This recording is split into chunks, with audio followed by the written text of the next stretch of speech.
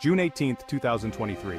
The world watched in horror as five souls ventured to the depths of the Atlantic Ocean to visit the Titanic wreck aboard the OceanGate Titan submersible.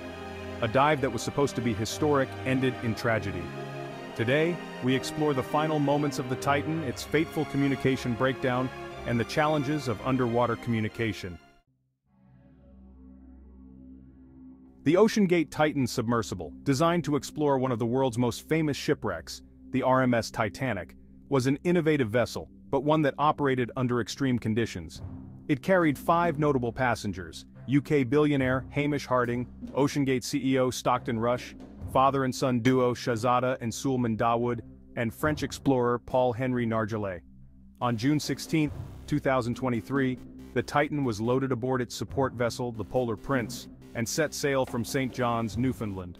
The journey to the Titanic wreck, located 12,500 feet below sea level, was meant to be another routine expedition for OceanGate.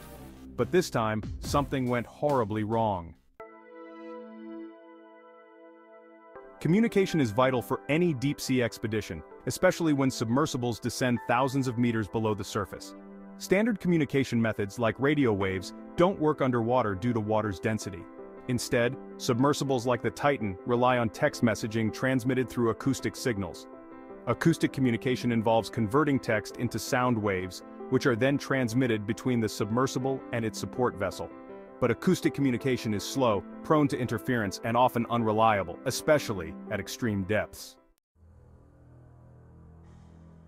On the morning of June 18, 2023, the Titan began its descent to the Titanic.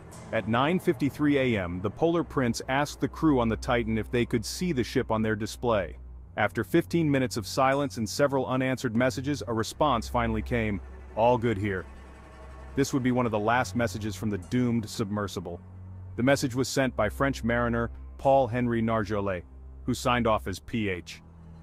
At the time the Titan was already at a depth of over 2,200 meters, facing extreme pressure.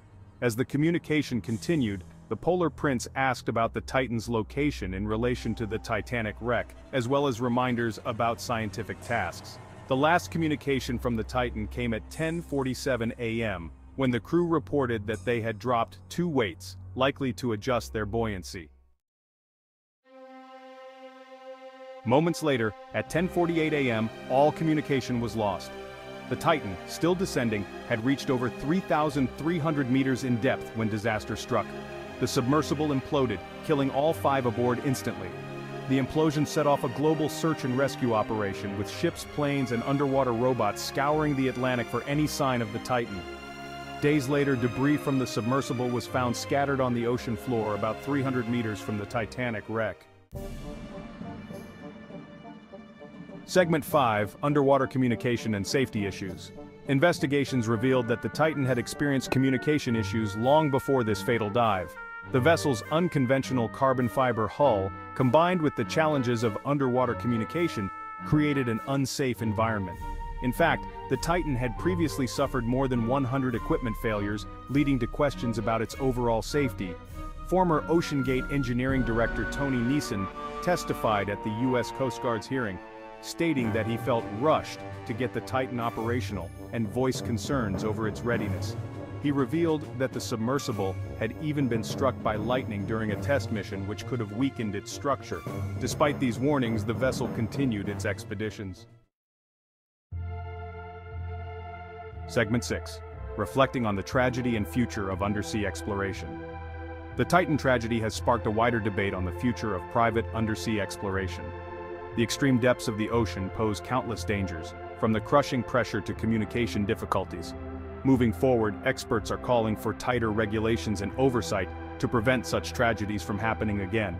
Jason Neubauer of the Coast Guard's Office of Investigations stated during the hearing, There are no words to ease the loss endured by the families impacted by this tragic incident. But we hope that this hearing will help shed light on the cause of the tragedy and prevent anything like this from happening again.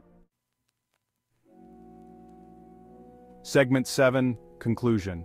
The final moments of the OceanGate Titan are a chilling reminder of the risks of deep-sea exploration. As we push the boundaries of technology and human endurance it is crucial that safety and communication remain paramount in these extreme environments. Our hearts go out to the families of those lost aboard the Titan. Let this tragedy serve as a lesson for future explorers as we continue to uncover the mysteries of the deep. If you found this video insightful, please like, share, and subscribe for more in-depth explorations of science, technology, and human ingenuity. Thank you for watching.